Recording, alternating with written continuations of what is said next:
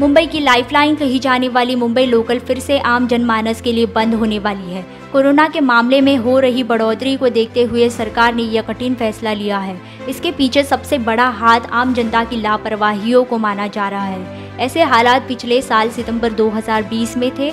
उस वक्त कोरोना भी पीक पर था और लोकल ट्रेनों में आम यात्रियों को अनुमति नहीं थी।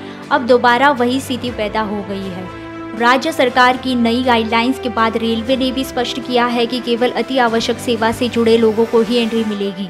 नए बंधनों के बीच ये ध्यान रहे कि जो यात्री लंबी दूरी की मेल एक्सप्रेस ट्रेन पकड़ने के लिए अपने गंतव्य स्थानों से निकलते हैं, वे लोकल ट्रेन में सफ़र कर सकते हैं।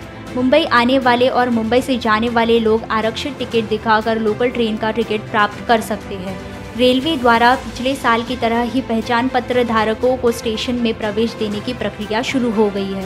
चिकित्सा, पुलिस, सरकारी कर्मचारी, बैंक, वित्त, बीमा सेवा के कर्मचारी और राज्य सरकार की नई गाइडलाइंस में स्वीकृत की गई श्रेणी को ही अनुमति रहेगी। इसके अलावा समय समय पर राज्य सरकार द्वारा होने वाले बदलाव के बाद अन्य श्रेणी को इसमें जोड़ा जाएगा।